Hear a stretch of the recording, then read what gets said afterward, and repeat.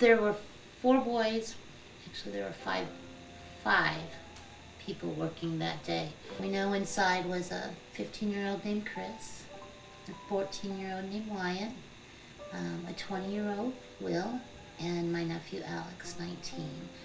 They were asked to um, work in the grain bin.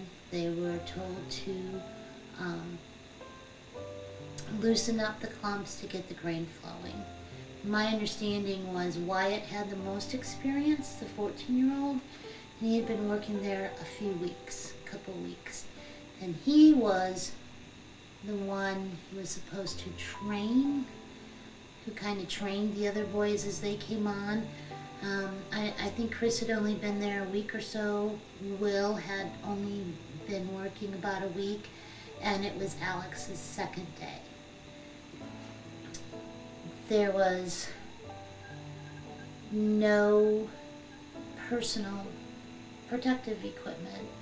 Um, they had on dust masks because obviously they're in a grain bin full of very dusty, moldy, out of condition corn.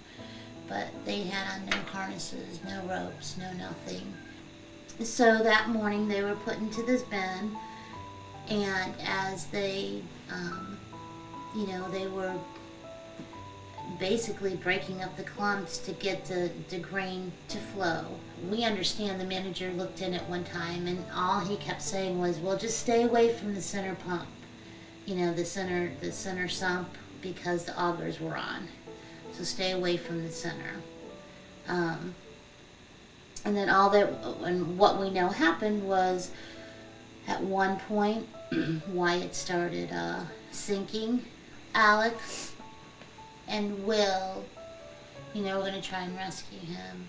They're yelling at Chris to get out of the bed because Chris was near the ladder and Chris was 15. Um, and they had gotten hold of Wyatt and um, I guess it almost had, had him free when the like horn broke underneath them and so they uh, all went down. They lost Wyatt. I mean, they weren't hanging on to him at that point. Um, we know Wyatt was um, basically, you know, screaming as he was engulfed, help me. So Will and Alex, um, you know, the way they fell, Will was higher than Alex, and he had one arm free, um, and Alex's arms were were trapped. Um, Alex, you know, was um, was saying, you know, we're, we're not going to get out of here. And Will was saying, yes, we are, hang on. You know, Alex was, was scared. Um, the corn was rising. And uh, I think it, was, it wasn't long before they realized that, that um, they weren't going to get out. Will didn't think he was going to get out. Um, they, uh, they were Will was trying to keep Alex's airway free by, you know, brushing the corn away from the side of his face. So it wasn't long before before Will couldn't keep um, Alex's airway clear anymore.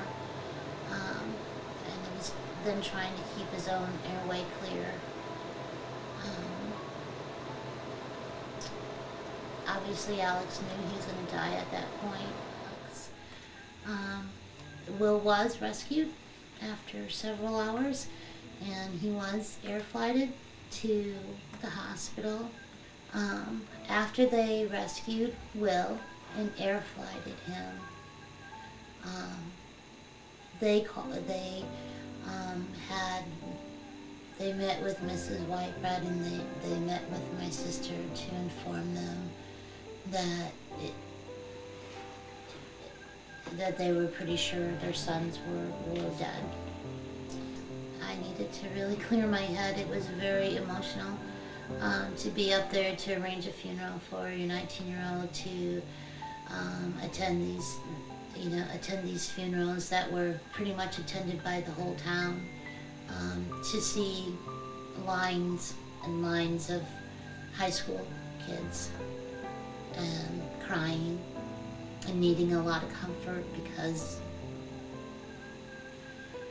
because their friends were taken from them. Um, you know, there's been Um, and I'm sure my sister has it worse than me because it was her son, but sleepless nights, you know, nightmares when you think about it and you think about what they went through. Um, as far as, you know, the family itself, I mean, they, uh, my nieces and, and, nephews lost their big brother, and this was somebody that they, um,